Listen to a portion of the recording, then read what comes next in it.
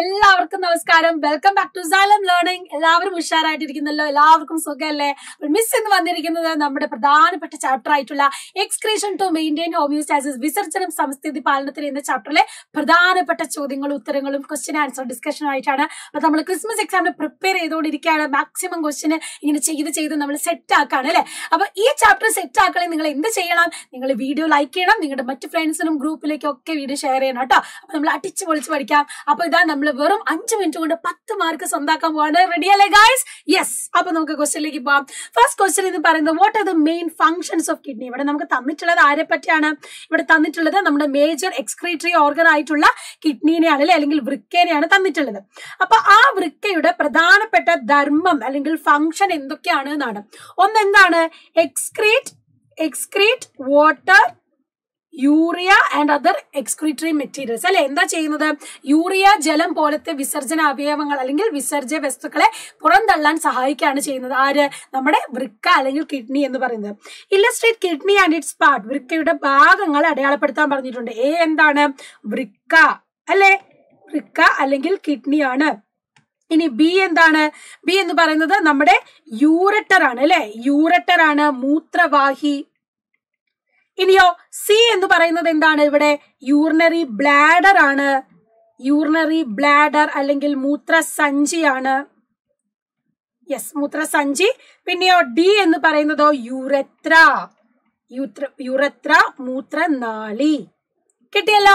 Yes അപ്പൊ B question കിട്ടിയതാ രണ്ട് മാർക്ക് കിട്ടി. ഇനി മൂന്നാമത്തെ നോക്കാം. Dash are the structural and functional units of kidney വൃക്കയുടെ അടിസ്ഥാനപരവും ഘടനാപരവുമായിട്ടുള്ള ഭാഗം ഏതാണ് എന്നാണ് അല്ലെ structural and functional unit of kidney എന്ന് പറയുന്നത് ആരാണ്? മറ്റാരുമല്ല. നമ്മുടെ നെഫ്രോൺ ആണ്. അല്ലേടാ നെഫ്രോൺ ആണ് അത് എഴുതിയാൽ മതി. മൂന്ന് മാർക്ക് നമുക്ക് കിട്ടി കഴിഞ്ഞു അടുത്ത ചോദ്യം നോക്കാം. Observe the figure and answer the question find out A and B ചിത്രം നിരീക്ഷ ആൻസർ കണ്ടുപിടിക്കാൻ പറഞ്ഞത്. എ എന്താണ്? ബി എന്താണ്? നമുക്കറിയാം അല്ലെ? ഉള്ളിലേക്ക് നമ്മുടെ രക്തം കൊണ്ടുപോകുന്നതാണ് എ എന്ന് പറയുന്നത് നമ്മുടെ അഫറന്റ് വെസലാണ് അഫറന്റ് വെസൽ മലയാളത്തിലും അങ്ങനെ തന്നെ എഴുതിയാൽ മതി. Afferent vessel afferent vessel B എന്ന് പറയുന്നതോ? എഫറന്റ് വെസലാണ്. എഫറന്റ് വെസൽ ആണ് യെസ് ഇനിയോ ബി എന്ന് പറയുന്നത് what is a function of C സിയുടെ ധർമ്മം എന്താണെന്നാണ്. സി എന്താണടാ? നമ്മുടെ ഗ്ലോമറുലാൽ ഫിൽട്രേറ്റ് ആണ് അല്ലെ? നമ്മുടെ ഗ്ലോമറുലസ് ആണ് ഇവിടെ തന്നിരിക്കുന്നത്. എന്താണ് അവർ ചെയ്യുന്നത്? ആ നമ്മുടെ അഫറന്റിനെയും വെസൽ ഈ അഫറൻ വെസൽ എന്ത് ചെയ്യുന്നു? അവരുടെ ഡയാമീറ്റർ അവരുടെ ആ ഒരു സൈസ് കുറഞ്ഞു കുറഞ്ഞ് ചെറിയ ചെറിയ ലോ രക്തലോമികൾ കാപ്പിലറീസ് ആയിട്ട് മാറുകയാണ്. ആ ഒരു പ്രഷർ ആ ഒരു പ്രഷർ കുറയും അല്ലെങ്കിൽ അങ്ങോട്ടേക്ക് പോകുന്ന നേരത്തെ എന്ത് ചെയ്യുന്നു? ഫിൽട്രേഷൻ നടക്കുന്നു. അപ്പൊ എന്താ ചെയ്യുന്നത് നമ്മുടെ ഈ പറയുന്ന ഗ്ലോമറുലസ് ആ ഗ്ലോ ഗ്ലോ ഗ്ലോമറുലസ് എന്താ ചെയ്യുന്നത്? When blood flows through this membrane ഈ ഒരു മെംബ്രെയിനിലൂടെ പോകുമ്പോൾ എന്താ സംഭവിക്കുന്നത്? അത് ഫിൽട്ടർ ഔട്ട് ചെയ്യുന്ന ഈ ഒരു ഡയമീറ്ററിന്റെ വ്യത്യാസത്തിൽ അല്ലെ? അപ്പൊ ആ മേജർ അൾട്രാ ഫിൽട്രേഷൻ നടക്കുന്നത് എവിടെയാണ്? നമ്മുടെ ഈ ഒരു ഗ്ലോമറുലസിലാണ് അപ്പൊ ധർമ്മം എന്ന് പറയുന്നത് എന്താണ്? അൾട്രാ ഫിൽട്രേഷൻ ആണ്. ഓക്കെ സെറ്റ് അല്ലേ? യെസ് ഇനി അടുത്ത ചോദ്യം നോക്കാം. Write the function of X given in the figure നമ്മുടെ നെഫ്രോണിന്റെ പിക്ചറാണ് ചിത്രമാണ് തന്നിരിക്കുന്നത്. ഇവിടെ എക്സ് എന്ന് തന്നിരിക്കുന്നത് ദാ ഈ ഒരു ഭാഗമാണ്. ഈ എക്സിന്റെ ധർമ്മം എന്താണ്? എന്താണ് ഇതിന്റെ ഫംഗ്ഷൻ എന്നാണ് എഴുതേണ്ടത്. എന്താണ് function absorption of water takes place urine is collected and carry to pelvis ജലത്തിന്റെ ആകിരണം നടക്കുന്നു. മൂത്രം ശേഖരിച്ച് പെൽവിസിലേക്ക് എത്തിക്കുന്നു. അപ്പൊ ഈ ഒരു ധർമ്മം ആരുടെയാണ്? നമ്മുടെ കളക്ടിംഗ് ഡക്റ്റിന്റെ ആണ് അല്ലെ? കളക്ടിംഗ് ഡക്ട് അപ്പൊ എക്സ് എന്ന് പറയുന്നത് ആരാണ്? നമ്മുടെ കളക്ടിങ് ഡക്ട് ആണ്. കളക്ടിങ് ഡക്ട് ആണ്. അല്ലേ? സെറ്റ് അല്ലേ? അപ്പൊ വേറെ ഡൗട്ടും കാര്യങ്ങളൊന്നും ഇല്ലല്ലോ. കളക്ടിങ് ഡക്ട് ആണെന്ന് ചോദിച്ചാൽ നേരെ എഴുതാൻ പറ്റൂലോ? യെസ് അപ്പോ ശേഖരണ നാളി. യെസ് അപ്പൊ രണ്ട് മാർക്ക് വീണ്ടും കിട്ടി. അപ്പൊ സെറ്റ് ആണല്ലോ.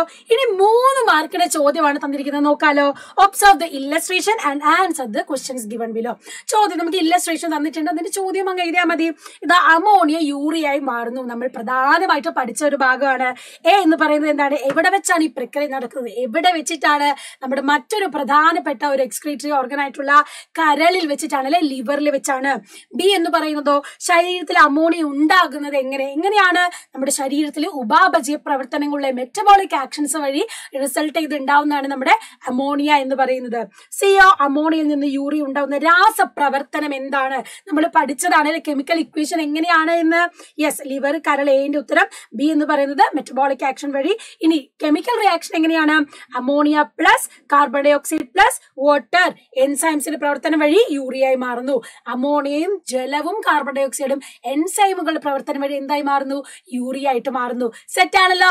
കിട്ടു ഗിഡു ആയിട്ട് നമുക്ക് ആൻസർ കിട്ടിയല്ലോ. അപ്പൊ ഇത് പത്ത് മാർക്ക് വെറും അഞ്ച് മിനിറ്റ് കൊണ്ട് നമ്മൾ നേടിയിരിക്കുകയാണ്. സോ എല്ലാവരും ഉഷാറായിട്ട് ഇതുപോലെ തന്നെ പഠിക്കുക. മിസ് ഇതുപോലത്തെ വീഡിയോസ് ആയിട്ട് വീണ്ടും വരാം. അപ്പൊ നിങ്ങളുടെ കമന്റ്സ് ഫീഡ്ബാക്ക് ഒക്കെ കമന്റ് ബോക്സിൽ അറിയിക്കുക. സോ നമുക്ക് വീണ്ടും കാണാം. ബൈ